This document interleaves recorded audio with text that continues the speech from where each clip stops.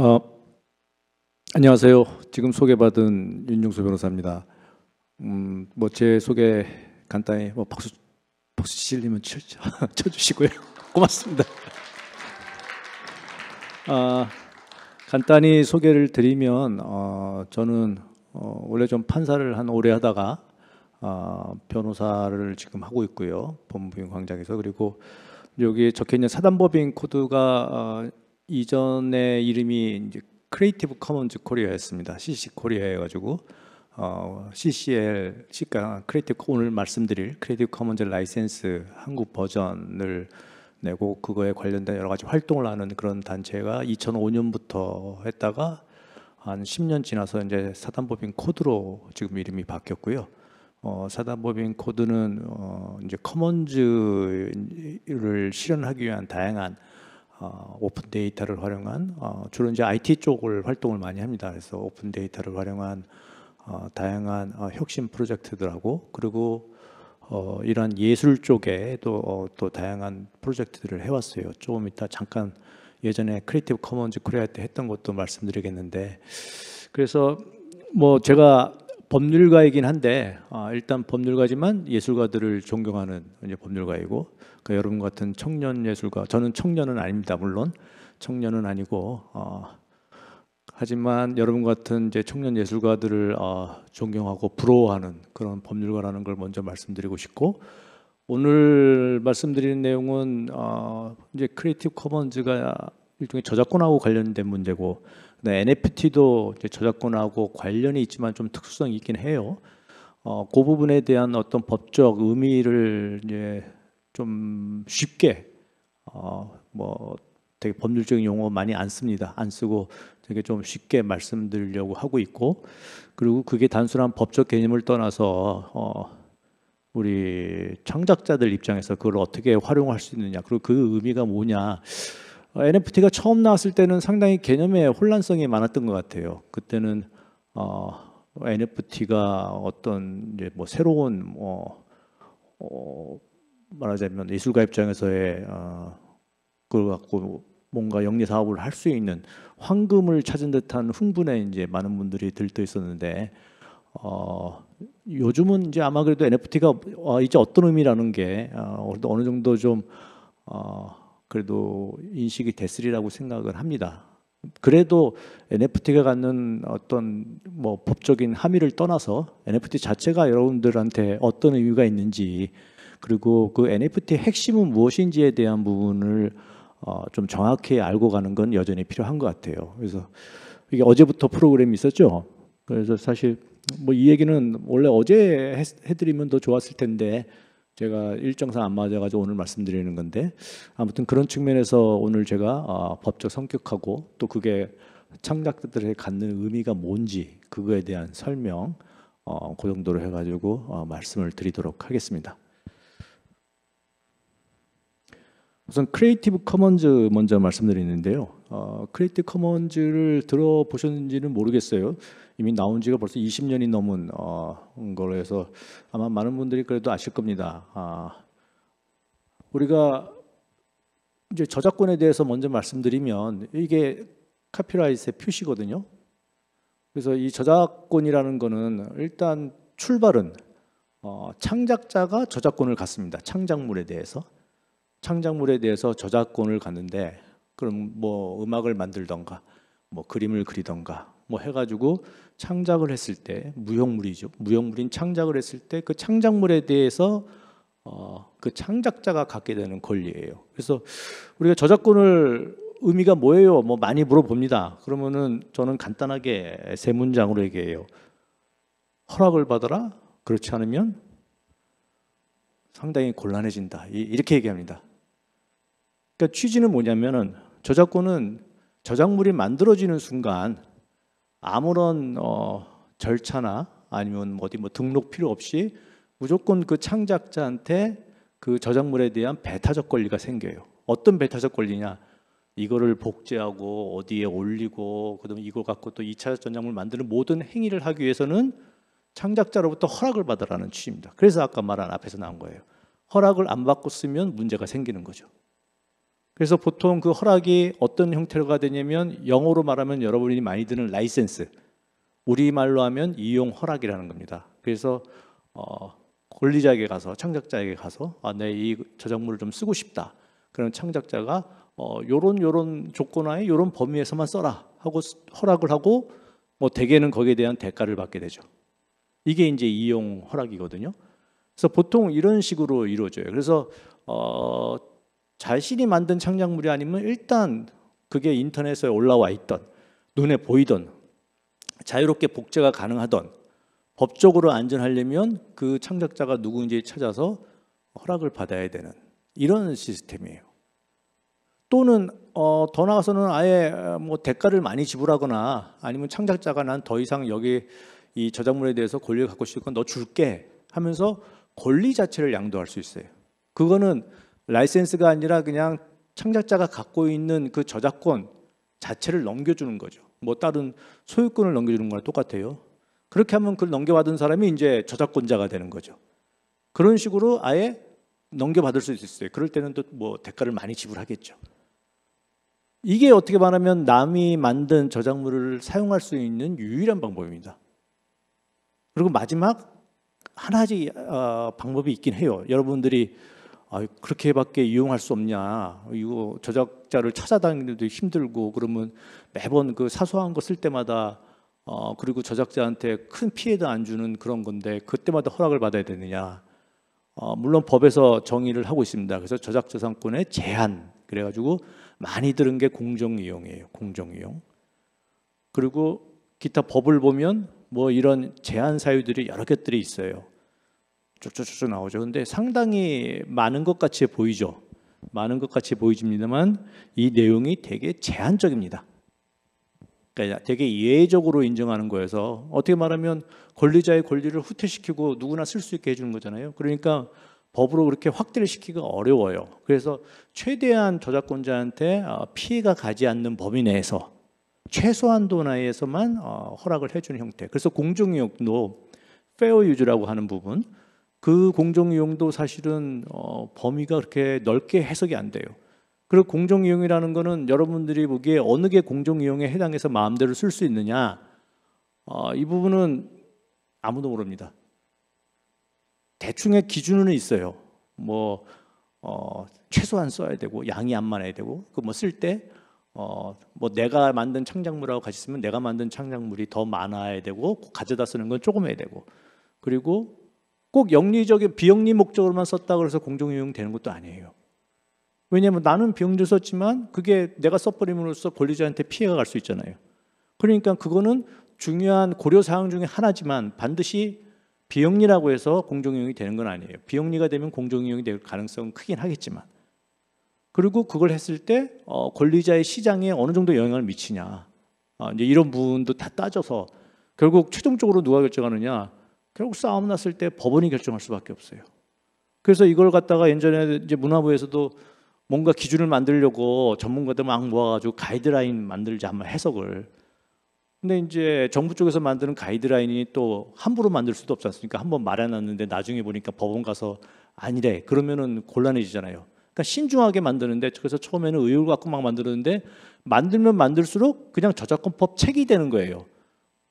그냥 딱 한마디로 매끈하게 결정을 안 해주죠. 이거는 되나요? 아 그거는 이런 경우에는 될 수 있고 뭐 이런 경우는 될 수 있고 막 하다가 그러다가 이제 너무 답답하니까 그래도 자유롭게 할 수 있는 거 좀 여러 확실하게 좀 말을 해주자. 그래서 그 얘기가 나왔어요.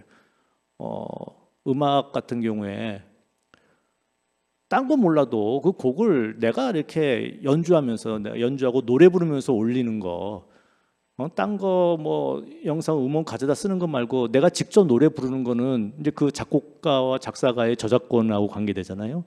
그거는 좀 열어주자. 그 정도는 우리가 지금 사회에서 허용해야 되지 않겠냐. 그 인터넷에 자기가 노래 부르면서 올라가는데 그것도 저작권 침해하면 어떻겠냐. 그래서 다들 어, 그래 그거는 괜찮을 것 같다 딱 했는데 누구 한 명이 딱 손을 들더니 그 사람이 그 노래를 기가 막히게 불러서 원래 가수 음악을 안 들으면 어떡합니까? 이렇게 질문이 나온 거예요.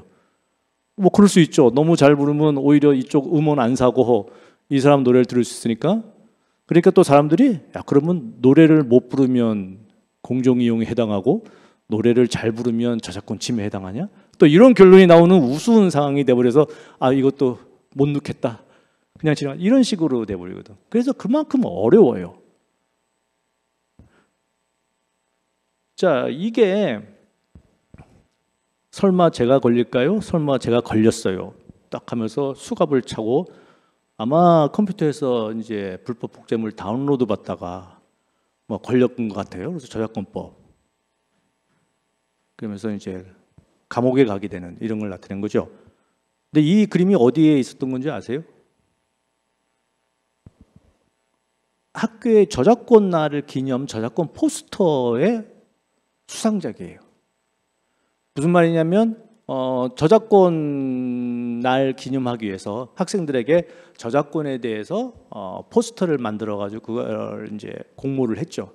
그래서 이게 수상작이고 2등, 3등도 다 뭐 어떤 게 나오냐면 주로 뭐 이렇게 도깨비가 보인다든가 뭐 이렇게 컴퓨터를 복제하려고 딱 켰는데 도깨비가 확 튀어나와가지고 자기를 잡아먹는 뭐 이런 거 그리고 뭐또뭐 뭐 감옥에 들어가 있는 거 이게 포스터의 기본적인 내용들이었어요. 저는 그거 보고 되게 충격을 받았는데 사실 저작권이라는 건 어, 저작자의 권리를 보호해 줌으로써 문화 발전에 기여하기 위한 거잖아요. 근데 저작권 하면은 우리 어린 친구들 머릿속에 떠오르는 거 뭐냐면 감옥, 처벌 이런 게 떠오르는 거죠.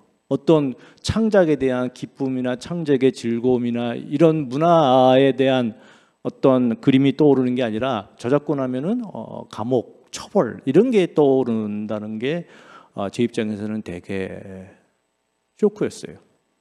그러니까 이게 아까 말했듯이 어, 저작권 자체가 저작권자의 권리를 보기 위해서 모든 배타적 권리를 주고 쓰려면 저작권자한테 허락을 받으니까. 근데 지금 같은 인터넷 세상에서 눈에 막 저작물이 보이고 어뭐 어디에 가면은 그냥 뭐 사진 있으면은 어, 우클릭하면은 복사할 수 있고 이런 식으로 할 수 있는데 실제 상황은 그 모든 행위들이 다 법으로는 위반으로 갈 가능성이 무지 크고 그러니까 계속 어떤 식으로 교육도 강조하냐면 남의 저작물 불법 복제하면은 혼난다. 감옥 간다. 이제 이런 식의 교육이 그게 머릿속에 박혀 있어서 근데 우리가 문화라는 건 컨텐츠라는 건 창작이라는 건 뭐냐면은 여러분도 뭐 어디서 맨날 할 거예요.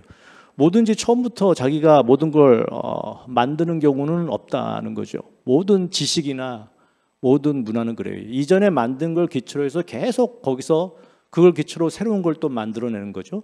모든 음악, 모든 예술, 물론 뭐 표절에 관한 문제도 많이 생기고 하지만 사실 이전의 창작물이나 이전의 문화로부터 영향을 안 받은 건 없어요. 그러니까 결국 기존의 창작물이 기초가 돼서 새로운 창작물이 나오는 거고 그게 이제 우리 말하는 어, 창의력이죠. 창의력이 아무것도 없는 완전히 새로운 걸 뭐 만들어낼 수도 있긴 해요. 하지만 기존의 창작물에 영감을 받아서 혹은 또 그거에 기초 새로운 창작물을 만들어내는 창의력 그리고 그 새로운 창작물은 다시 기존의 창작물이 돼가지고 다음의 창작을 위한 어, 리소스가 되는 거죠. 이런 순환 구조가 일어나는 게 이게 컬처거든요. 근데 지금 같은 아까 말한 그런 현상에서는 이 부분이 딱 막혀버리는 거죠. 너무 강하게 묶어놓으니 이게 다음의 창작, 다음의 문화를 위한 그 순환 구조로서의 어, 자원이 될 수 있는 기회를 막아버리게 되고 뭐 그러면은 다 그렇게 해가지고 야 그러면 뭐 하여튼 남의 저작물을 쓸 때는 그냥 허락받고 쓰면 되는 거 아니냐. 근데 그 허락이라는 절차가 너무 어렵죠. 그게 아주 엄청난 뭐 영화 헐리우드에서 만든 영화를 우리 극장에서 틀고 싶다. 그 정도는 어, 허락이라는 절차가 그렇게 부담스럽지 않아요. 그거는 금액도 큰 부분들이고 그 다음에 그 자체 하나가 어떤 덩치가 큰 거기 때문에 거기에 리소스를 투자해서 허락을 받고 계약서 작성하고 대가 지급하고 하는 게 충분히 가능해요. 그때 여러분들이 어 뭔가 하나 아까 같은 뭐 포스터를 만들든지 아니면은 어디에 에, 뭐 행사를 할 때 거기에 필요한 사진 하나 구하려고 보는데 인터넷에 있어요.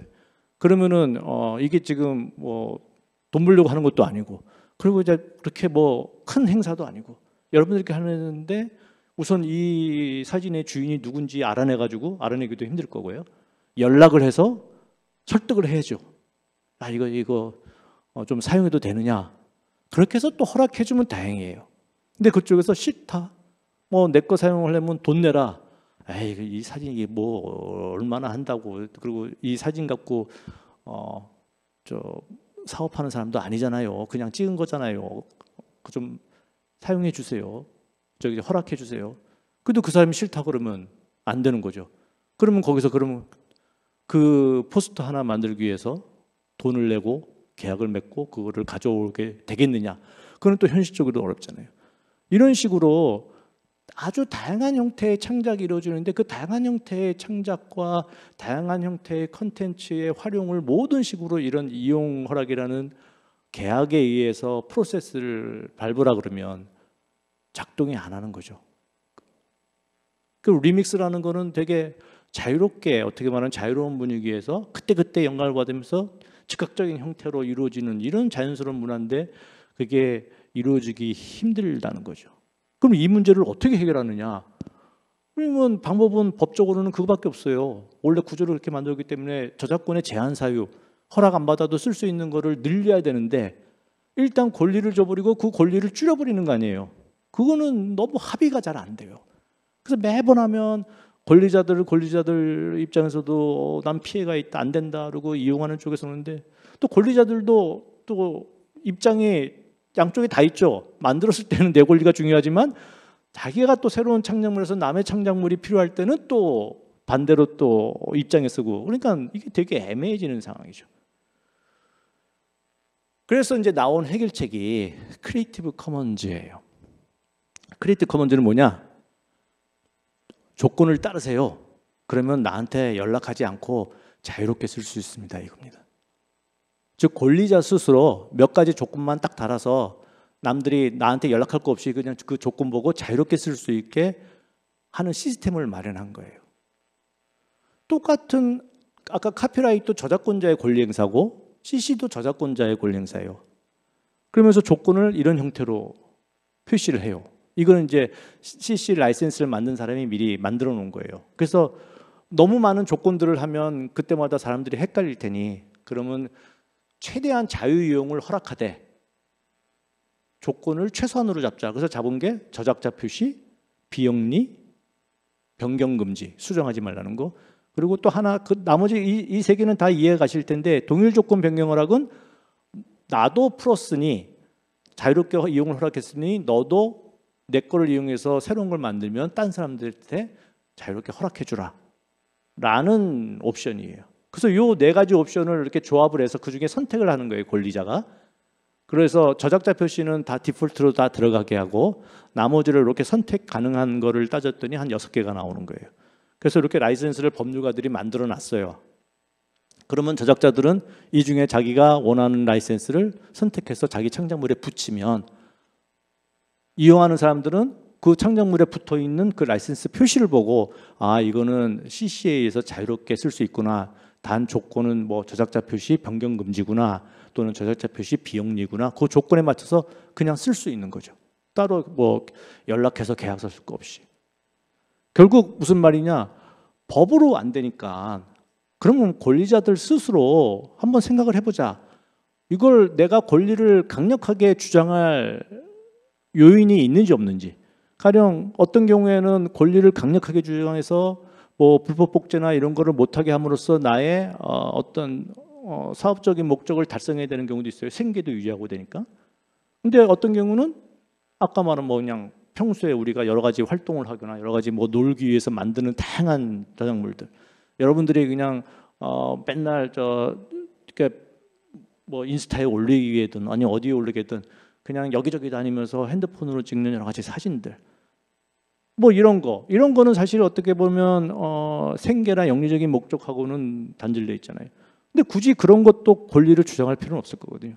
그러니까 굳이 어, 이걸로 어떤 내가 뭐 사업적인 활동을 하거나 할 필요가 없는 저작물들은 남을 위해서 풀어줄 수 있는 거고 또 어, 활저 창작을 통해서 생계를 이어가는 입장에서도 내가 지금 권리를 창작물을 갖다가 권리를 강력하게 주장해봤자 아직 내 창작물에 대해서 잘 알지도 못하고 그걸 남들이 돈을 내고 어, 그거를 감상하리라고 기대도 안 되는 상황에서는 무조건 붙들고 있는 것보다는 지금은 일단 풀어놓고 거기다 내 저작자 표시해달라고 내가 누군지를 기억하라는 식으로 저작자 표시를 계속 해달라고 요청을 하고 다만 뭐 내 걸로는 돈 벌게 남이 돈 버는 것이니까 비영리 조건 묻힌 다음에 쓰게 하는 거죠.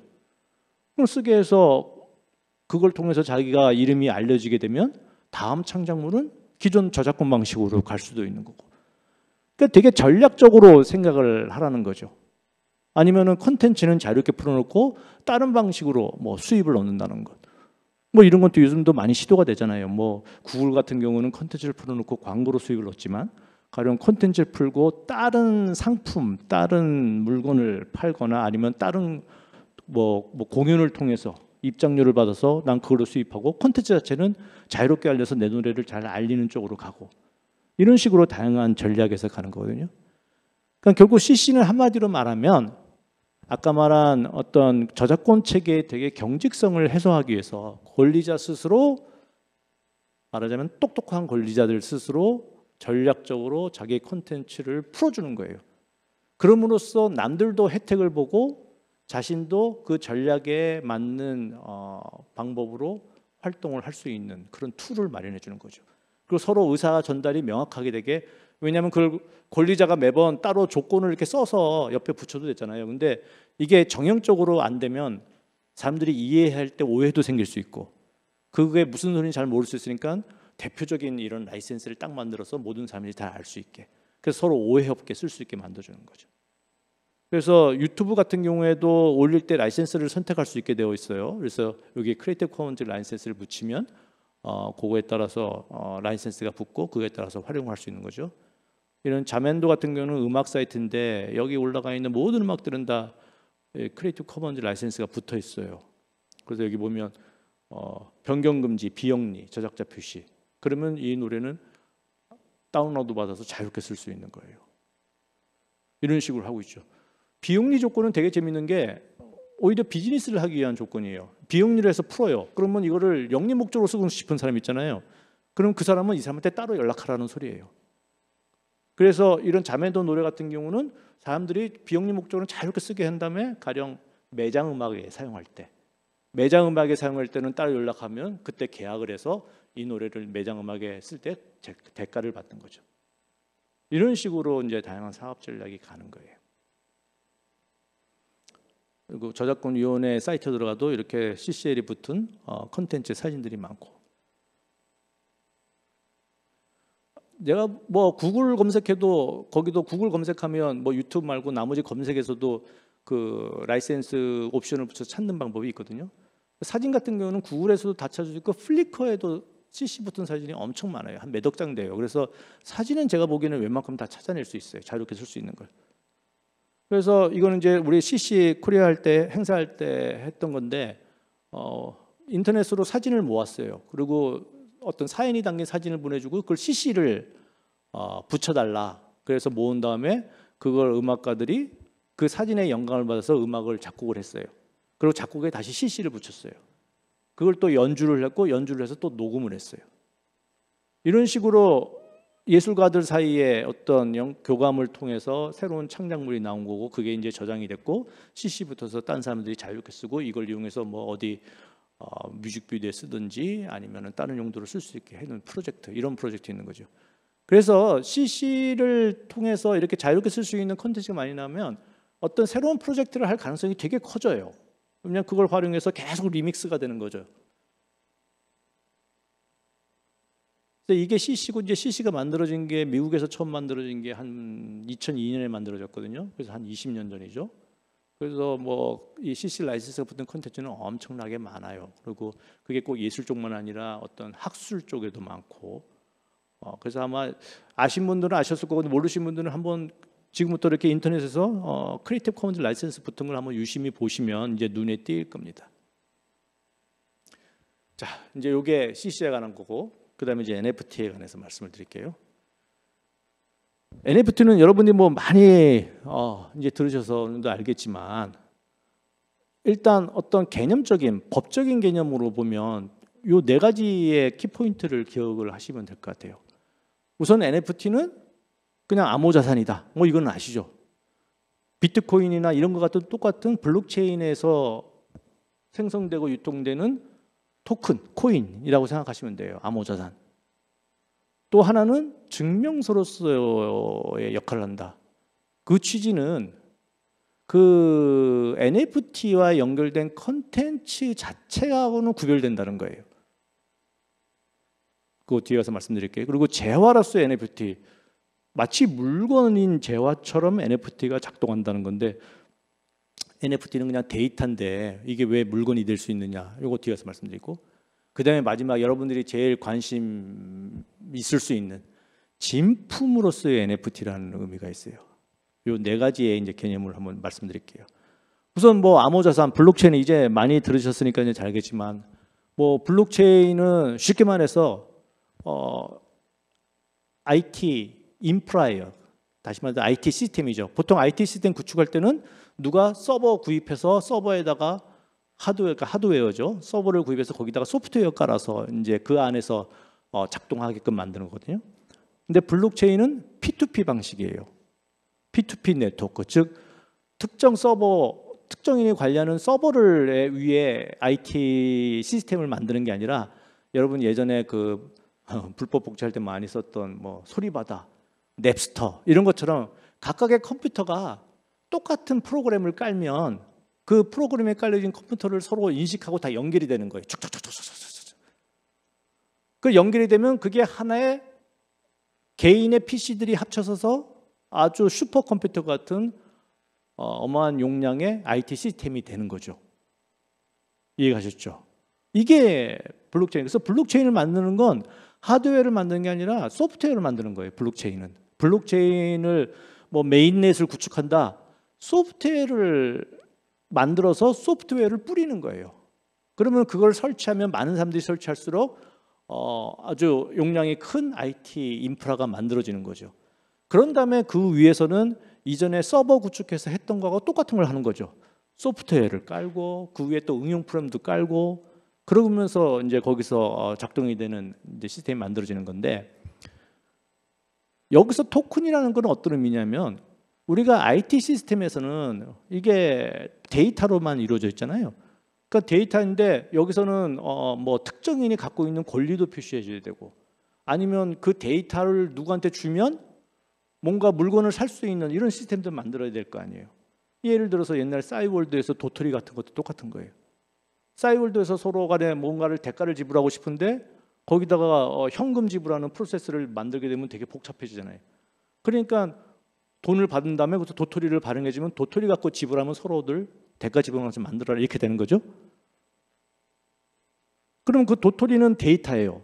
여러분은 아시겠지만 데이터는 무형물이잖아요. 일반 컨텐츠처럼 뭐가 가능해요? 복제가 가능하죠. 근데 돈 주고 데이터를 받았는데 이게 딴 사람이 복제해가지고 딴 사람도 쓸 수 있고 나도 쓰고 이렇게 돼버리면 완전히 망가지는 거잖아요. 그러니까 복제가 안 들어가게 만드는 거잖아요. 근데 복제가 안 되게 만들 방법은 기술적인 방법은 뭐냐면 데이터를 특정해 놓고 이 데이터는 누구 거다라는 거를 한 사람이 관리하는 거예요. 그래서 이 도토리 얘한테 도토리 10개 줬는데 그 도토리 10개에 해당하는 데이터를 얘한테 줬다는 거를 관리하죠. 그러면 이 데이터가 딴 사람이 써버리면 이 사람은 못 쓰는 거게 돼. 이런 식으로 하거든요. 그렇게 해서 복제되지 않게 만드는 거예요.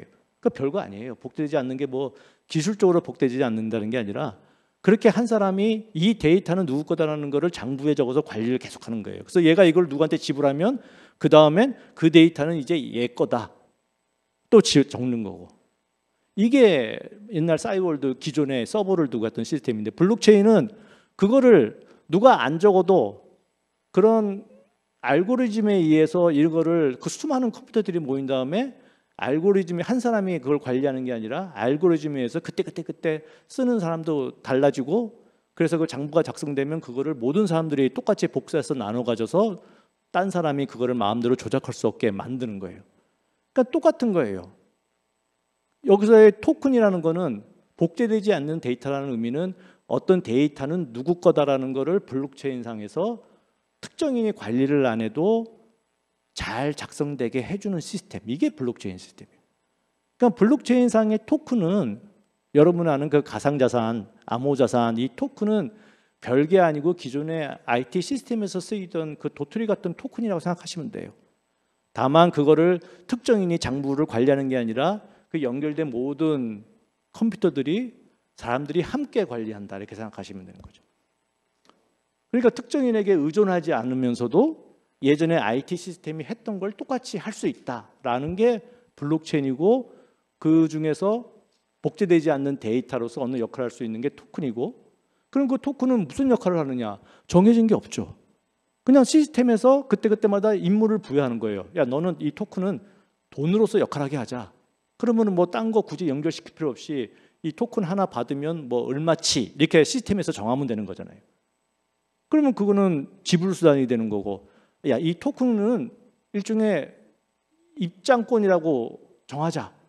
그러면 이 토큰을 가진 사람은 어느 행사에 들어갈 수 있는 온라인에서 뭐 뭐 온라인 스트리밍을 들어갈 수 있는 그 입장권이 되는 거고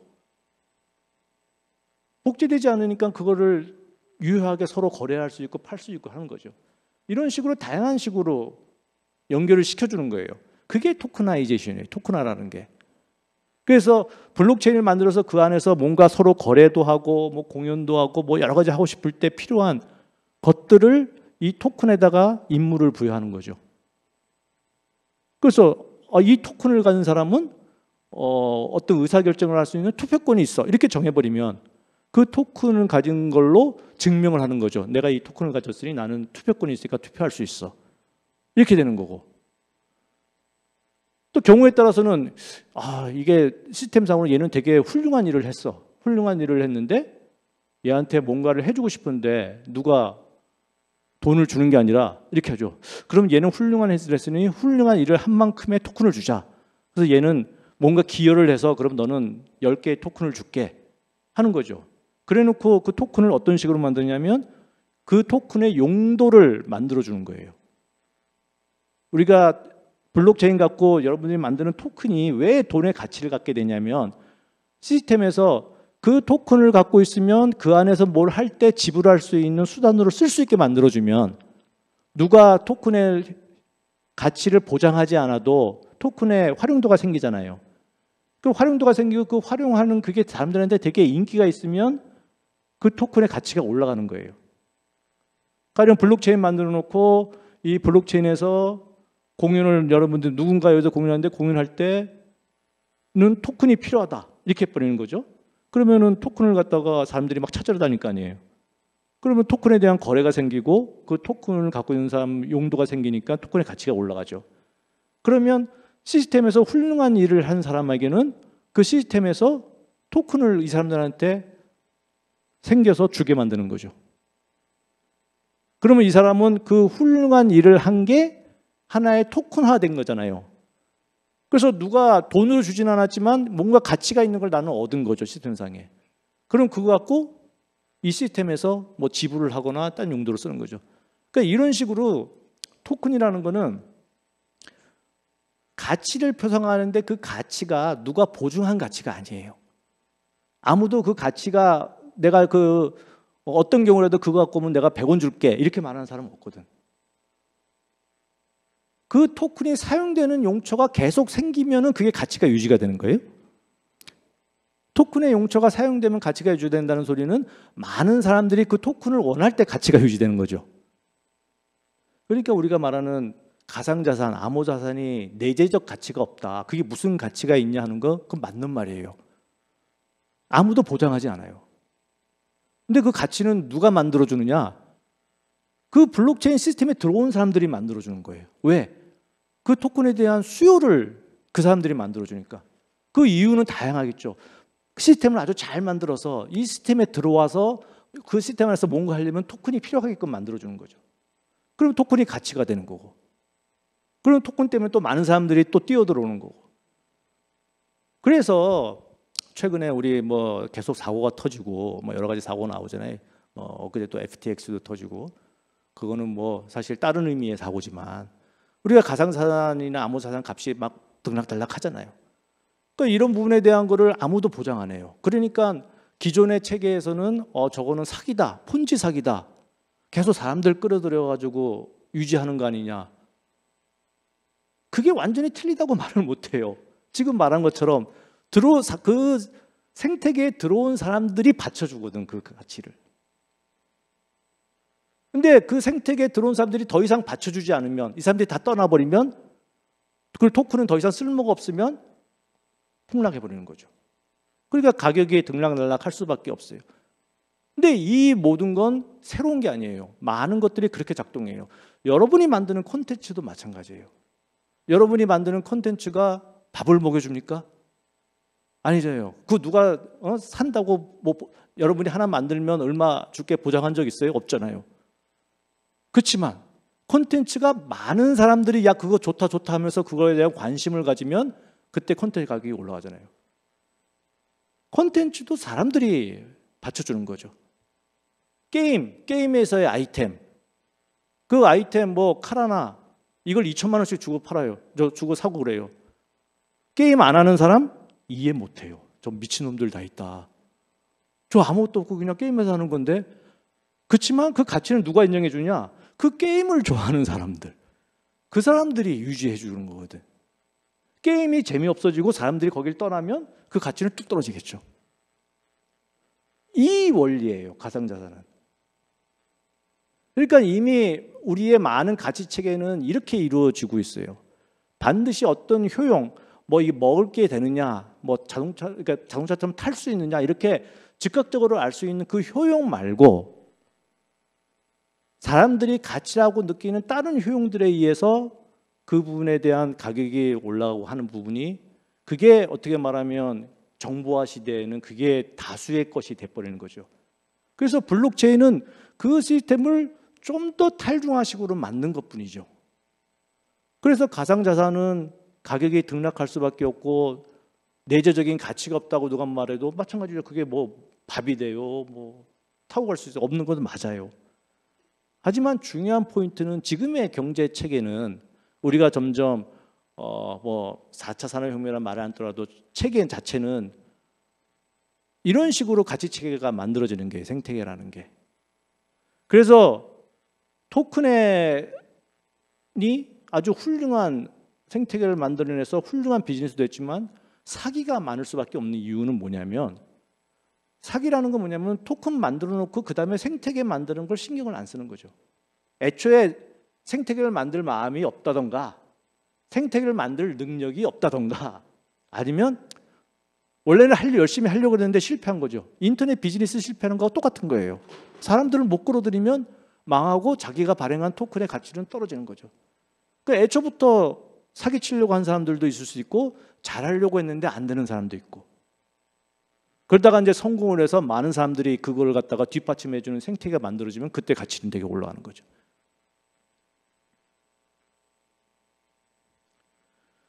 그래서 우리가 웹 3라고 요즘 계속 얘기하잖아요. 그래서 우리가 웹 1은 어 그냥 기존의 아주 전통적인 거 누군가 막 컨텐츠를 만들어 올리면 사람들이 그걸 그냥 보기만 하는 이런 형태에다가 이제 웹 2.0이 나오잖아요. 웹 2.0은 지금의 이 웹 생태계를 말하는 거죠.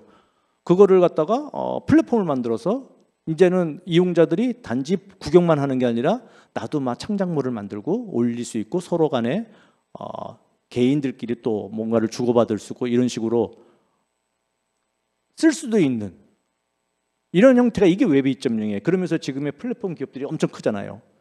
그러면서 나오는 게 해보니까 제주는 곰이 부리고 이익은 다 딴 사람들이 가져가네 이런 얘기가 계속 나오는 거예요. 어, 우리가 다 만들어내고 우리가 하는데 플랫폼 기업들이 그거 갖고 돈을 벌잖아요. 뭐 광고를 해서 벌든 그게 뭐 S 저기 소셜 네트워크 서비스든 무슨 컨텐츠 서비스든 아까 말한 뭐 구글 같은 데든 그러니까 그 비판이 나오는 와중에 이제 블록체인이 다시 나오면서 그래 그 컨텐츠를 만들었는 사람 그 생태계에 생태계를 만드는데 애쓰는 사람들한테 대가를 주자.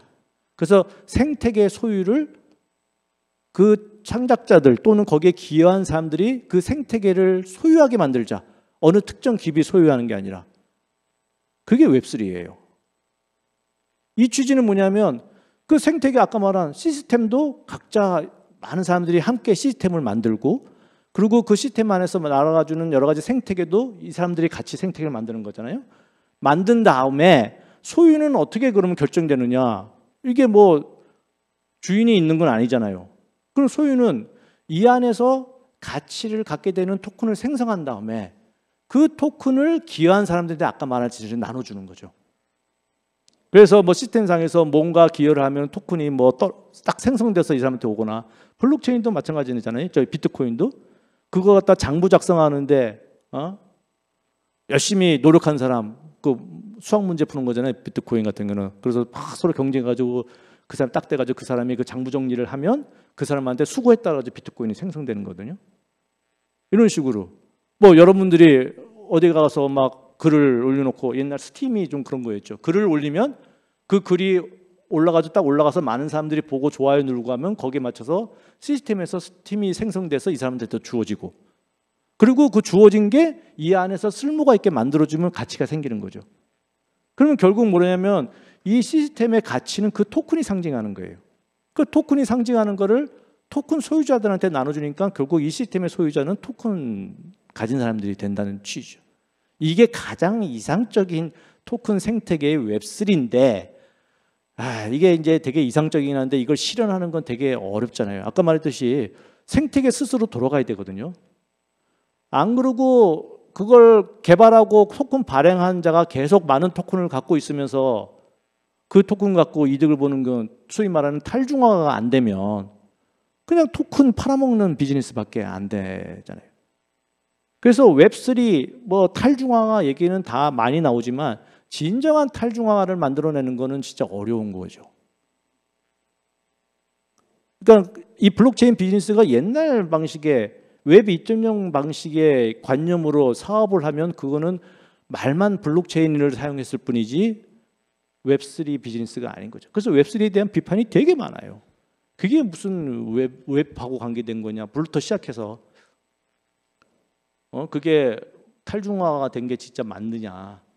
그래서 그 논의가 계속되고 뭐 FTX나 이런 데는 거래소는 어차피 탈중화가 아니죠. 거래소는 그냥 그거는 진짜 중앙화 시스템일 뿐이에요. 그러니까 사고가 터지나요? 근데 탈중화라고 해놓고 뭐 코인을 만들어 가지고 했는데 나중 보니까 이게 그 발행자가 좌지우지하는 시스템이에요. 그래서 걔가 그거 갖고 딴짓을 해가지고 망가져 버리거나 시스템 내거나 뭐 루나 이런 것도 내막은 따져봐야 되겠지만 결국 루나 테라 같은 것도 그게 과연 탈중화였냐? 그에 대한 질문이 떨어지는 거죠. 그래서 블록체인 비즈니스는 상당히 혁신적인 비즈니스지만 상당히 그걸 만들어내기는 쉽지 않다 이렇게 생각하시면 돼요. 그래서 암호자산으로서의 NFT는 무슨 뜻이냐면은 똑같은 토큰이에요. 다만 이 토큰이 토큰마다 이름이 하나씩 달려 있는 거예요. 그러니까 비트코인 같은 경우는 토큰마다 특정할 필요가 없죠. 그냥 그거는 돈처럼 쓰는 거니까 여러분 10원에 내 이름이 적혀 있는 10원하고 딴 사람이 적혀 있는 10원의 의미가 없잖아요. 그러니까 그거는 토큰마다 고유 번호가 달려 있는 게 아니라 그냥 수량으로 되는 거고 NFT는 그 토큰 토큰마다 아이디가 하나씩 붙어 있는 거예요. 그러니까 뭐 완전한 기존의 토큰하고 완전 근본적으로 다른 토큰은 아니에요. 그래서 아이디가 붙어 있으니까 뭔가를 연결시키기가 좀 더 자세하게 연결시킬 수 있는 거죠.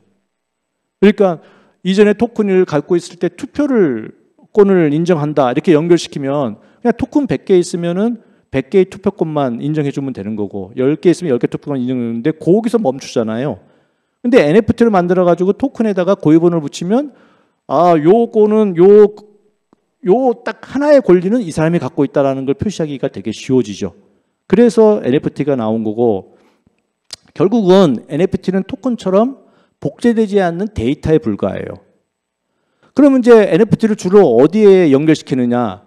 어떤 자산하고 연결시키는 거죠. 어떤 가치를 갖는 자산하고 NFT를 연결시켜줘요. 이 토큰은 이 자산과 연결되어 있다. 그런데 잘 아시겠지만 NFT는 그 자산 자체가 거기에 포함되어 있는 게 아니거든요. 그냥 NFT는 아주 작은 데이터예요. 그러니까 어떤 뭐, 어, 디지털 콘텐츠 자체도 그 안에 못 집어넣어요. 그 콘텐츠 자체는 용량이 커서.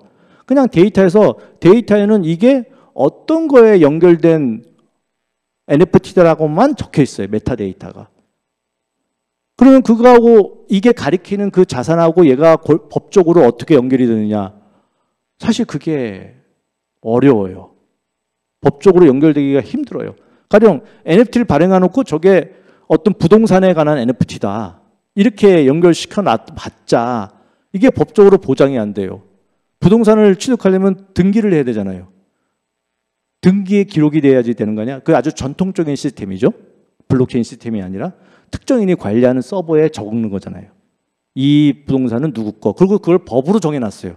그렇기 때문에 거기에 적히면 부동산의 소유자가 되는 건데 암만 NFT에 아 이거는 어느 아파트 몇 동 몇 호의 NFT라고 적어봤자 NFT를 가져봤자 이거에 대한 소유권이 보장이 안 되죠.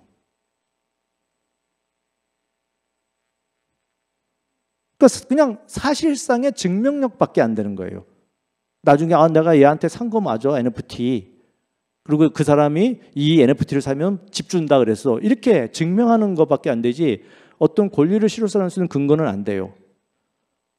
근데 다만 이게 어떤 실물의 물건이 아니라 약간 같은 데이터로 이루어진 자산들. 그게 디지털 콘텐츠잖아요. 그거 가면 가고 그다음에 콘텐츠 자체가 중요한 게 아니라 요 메타데이터를 갖고 있으면은 이 사람의 자격을 인정해 주는 그런 그런 형태로 가면 갈수록 NFT가 갖고 있는 그 연결이 점점 확실해지는 요 차이는 있어요. 그걸 말씀드릴게요.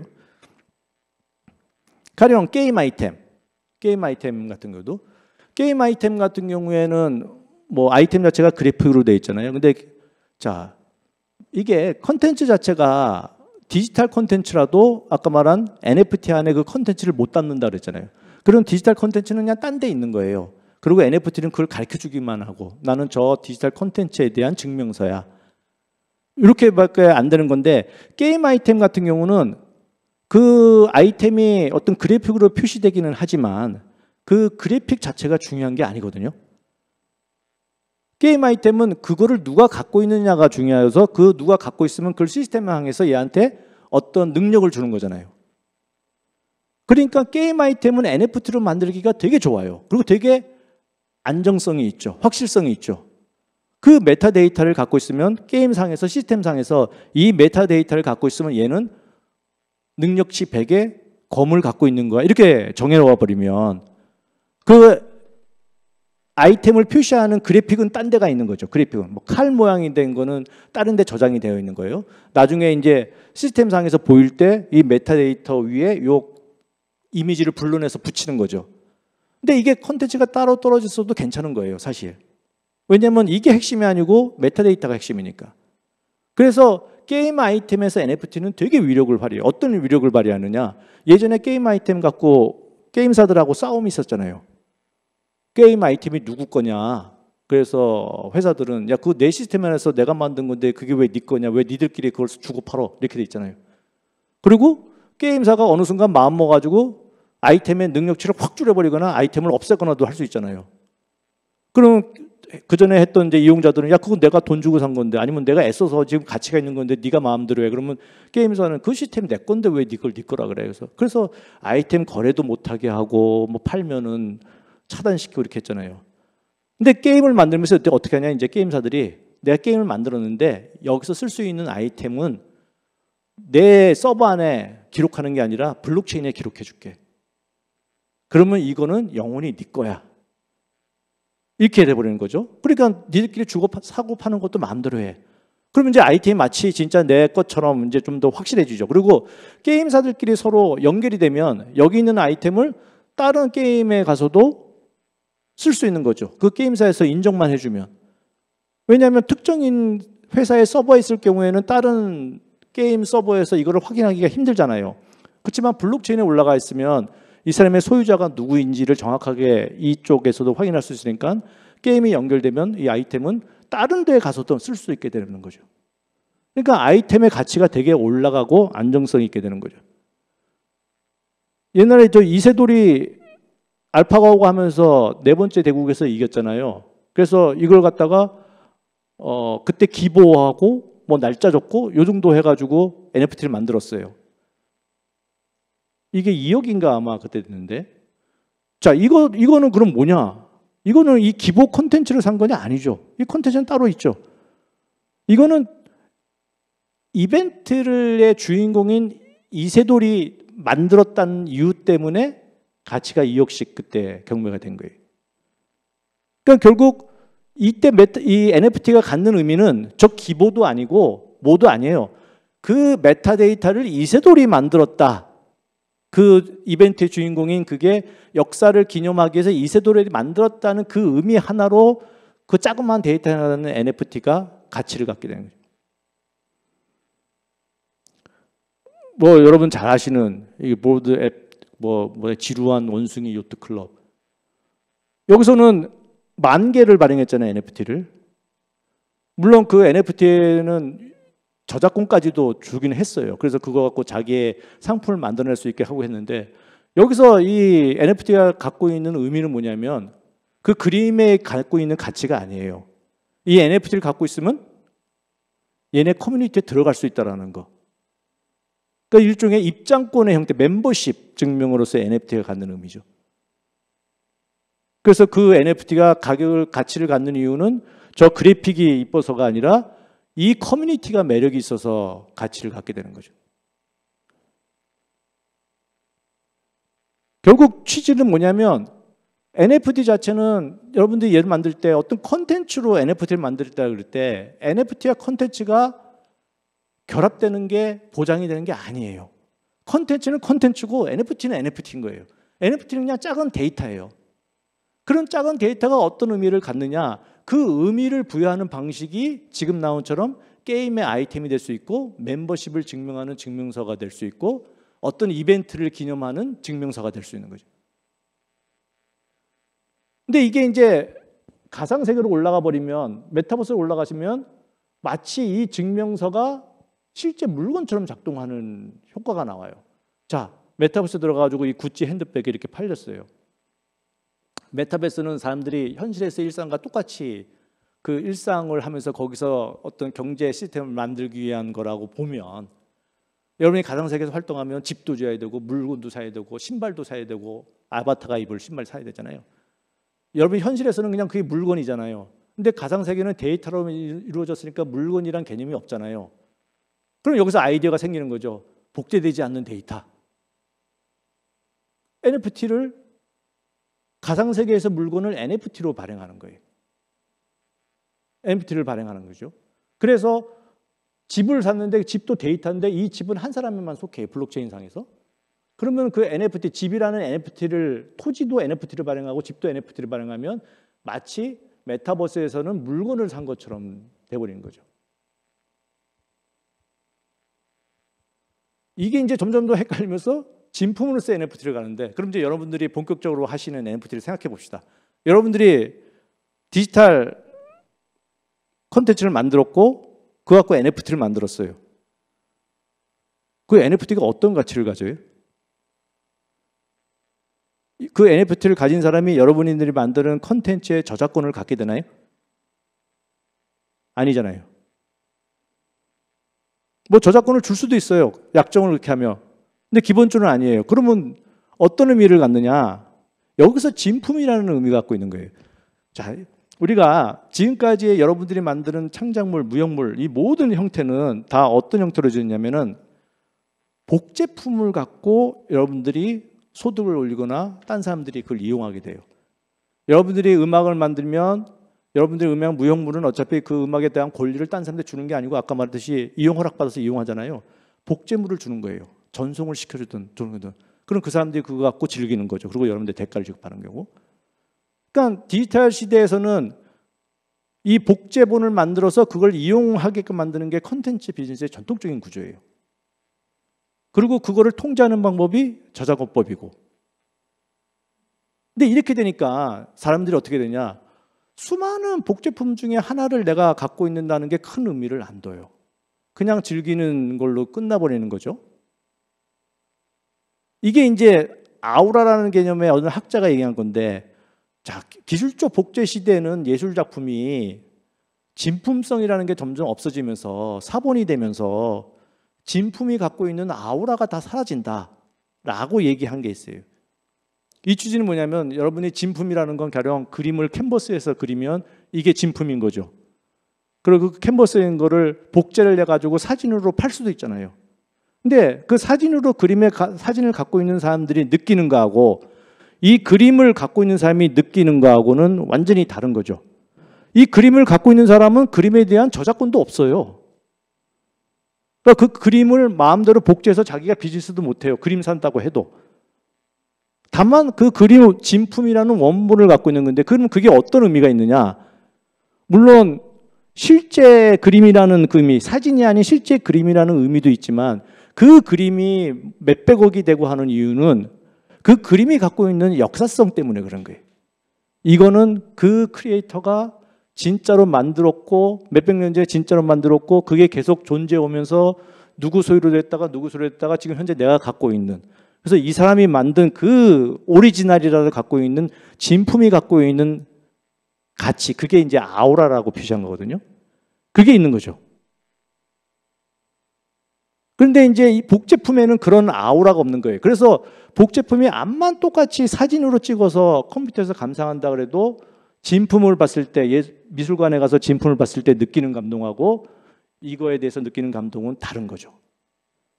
이게 이제 어떻게 말하면 지금의 컨텐츠 비즈니스에서의 한계인 거죠.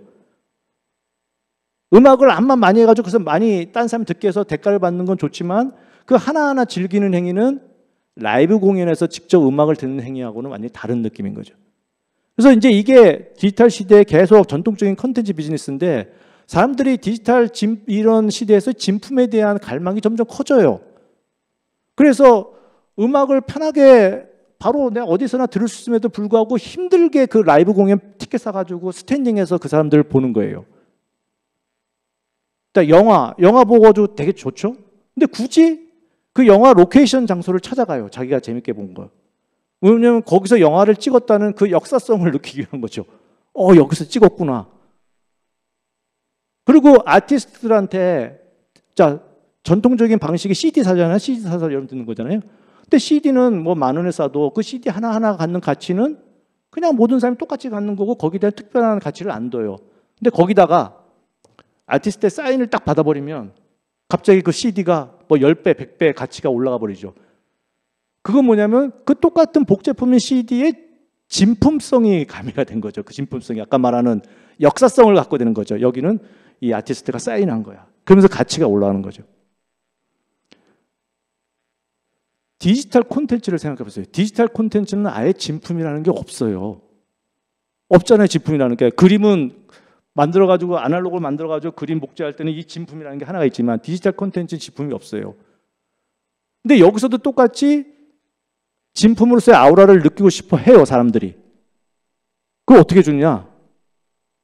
NFT를 발행하는 거예요. 누가? 권리자가, 창작자가.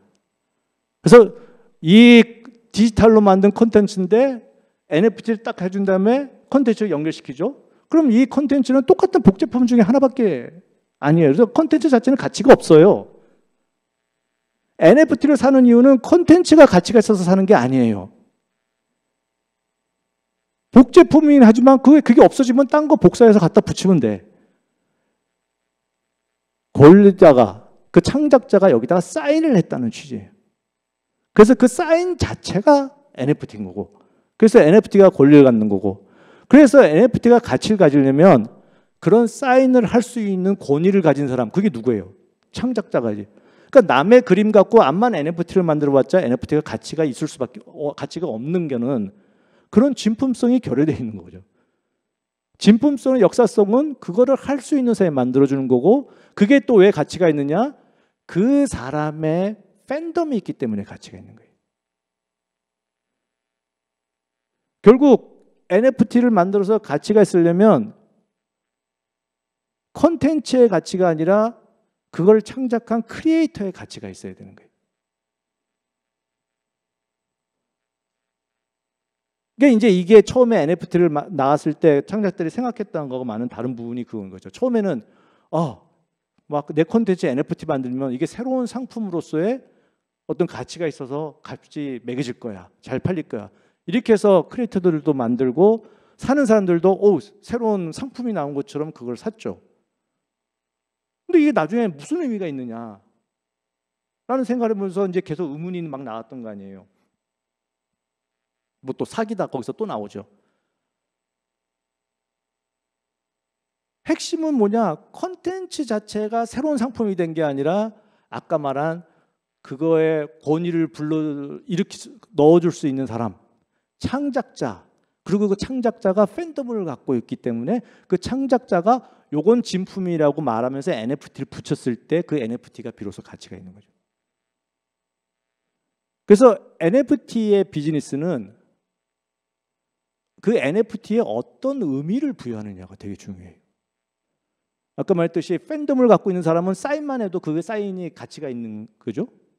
그렇지만 그런 팬덤이 없는 입장에서는 이걸 NFT를 산 사람한테 뭘 제공할 것인가를 연구를 해야 되는 거예요. 이 사람한테 뭘 아까 같은 뭐 멤버십을 제공할 것인지 그 멤버십으로 할 수 있는 서비스가 뭔지 아니면 이 사람한테 어떤 의미를 부여할 것인지 내가 되게 애, 애를 쓰고 있는 크리에이터인데 NFT를 발행했다는 거는 이 사람이 나를 후원을 했다는 취지도 되거든요. 그러니까 나를 후원하게끔 만들고 싶게 만들어 줘야 되는 거죠. 그래 놓고 나를 후원자로서 NFT를 발행해 드릴 테니 나중에 내가 뜨면 NFT 같이 올라갈 거다. 이렇게 되거나 아니 뭔가 의미 있는 을 냈을 때 그거에 대한 일종의 상처럼 NFT를 만들어 주거나 그래서 크리에이터 입장에서 NFT를 활용하는 건 단순히 내가 내 콘텐츠를 NFT로 찍는 행위 이 자체가 중요한 게 아니라 NFT한테 어떤 의미를 부여할 수 있냐를 먼저 생각을 하시고 그거에 맞춰서 가셔야 되는 거예요. 그러니까 되게 어려운 거죠. 어려운 거고 어떻게 보면 되게 어, 새로운 개념의 이제 비즈니스가 나온 거예요. 그러니까 NFT는 저작권하고도 상관없어요. 저작권은 아까 말한 전통적인 방식, 복제품 갖고 비즈니스를 하는 그 방식에 있어서만 문제가 돼요. NFT는 복제품에서 만드는 그게 아니에요. 진품을 만들어내는 거거든. 그러니까 저작권을 NFT를 산다고 해서도 저작권을 취득하는 거 아니죠. 근데 다만 NFT 만들 때 그 이미지도 같이 주잖아요. 근데 그거는 NFT를 이렇게 보기 좋게 하려고 준다고 생각하시면 돼요. 뭐 그건 어차피 다른 데 저장돼 있는 거고. 근데 그때 그걸 같이 민팅할 때 그 컨텐츠를 쓰게 되잖아요. 그러면은 내가 저작권이 없으면은 컨텐츠 쓰게 되니까 그때는 그 저작권 침해가 돼 버리는 거예요. 그거는 NFT를 만들어서 침해가 되는 게 아니라 NFT를 만들 때그 컨텐츠를 사용하면서 원래 저작권법 원리에 따라서 침해가 되는 거죠. NFT 자체는 창작물도 아니에요. 그건 데이터이기 때문에. 그럼 거기는 저작권법도 없어요. NFT는 권리도 없어요. 다만 NFT 만들 때 아까 라이, 어떤 창작물을 같이 쓰는 과정에서 복제가 이루어지면 저작권 침해가 되는 거고. 그러니까 결국은 저작권과 NFT는 다르다는 거죠. 별개 그러니까 별개 방식으로 움직이는 거예요. 근데 새로운 기회를 준 건 맞아요. 왜냐? 아까 CC에서 생각을 해보세요. CC는 어떤 식으로 간다 그랬어요? 컨텐츠는 푼다 그랬잖아요. 콘텐츠는 사람들이 자유롭게 복제해 가게 만들고 사람들이 자유롭게 쓰게 만들면서 다른 데서 수입을 얻는다는 거잖아요. 그런 측면에서 보라면 이 NFT는 CC하고도 일맥상통하는 거죠. 콘텐츠 같은 저작권 갖고 비즈니스를 안 한다. 오히려 그 콘텐츠와 연결된 NFT를 발행하고 그 NFT에 복제되지 않는 NFT잖아요, 이거는. 복제할 수 없는 가치를 부여해 주는 거죠. 그게 아마란 한 10개만 발행하면 그 권리자가 10개 발행한 진품 10개를 소유하는 그게 되는 거고 아니면 커뮤니티를 만들어서 거기에 대한 입점 만들어주면 되는 거고 그리고 뭐 우리 저 저거 생각하시면 되죠. 우리 저 아이돌에서 CD 만들 때 CD가 우리 팬들이 CD를 사는 게 CD 듣기 위해서 하는 거 아니잖아요. 그 CD를 가져야만 팬 미팅에 갈 수 있고 뭘 살 수 있게 만드는 그 CD가 그게 NFT예요. 그러니까 엔터테인먼트에서 NFT를 제일 좋아해요. 왜냐? 예전에는 그런 증명서를 CD 같은 물건으로 만들려고 돈도 많이 들고 처분도 하기 힘들었는데 그냥 디지털 상에서 데이터로만 만들면 되거든. 걔네들은 뭐가 있냐? 팬덤이 있기 때문에 그 데이터 거기에 대해서 그 NFT의 어떤 입장권적인 효력을 주는 거고. 이렇게 생각하시면 NFT가 완전히 이전에 없던 새로운 개념은 아니라는 것을 아마 아실 거예요. 그래서 NFT에 많은 기대를 걸으셨던 분 중에는 실망하는 분들도 있겠지만 제가 생각하기엔 새로운 방식의 크리에이터로서 새로운 방식의 소위 말하는 생태계를 만드는 하나의 방법 그리고 새로운 기회를 만드는 방법 새로운 팬덤을 만드는 방법 이거의 수단으로 NFT를 사용하면 지금 같은 어떤 크리에이터를 둘러싼 이 생태계에서의 한계를 벗어날 수 있는 또 하나의 이제 방법이 되는 거죠. 핵심은 커뮤니티. 딴 말로 하면 팬덤. 딴 말로 하면 아티스트로의 나의 가치. 요거를 만드는 게 NFT 자신의 NFT를 키우기 위한 핵심이라고 생각을 하시면 될 것 같아요. 예. 시간이 다 된 것 같은데. 예, 이 정도로서 마치겠습니다.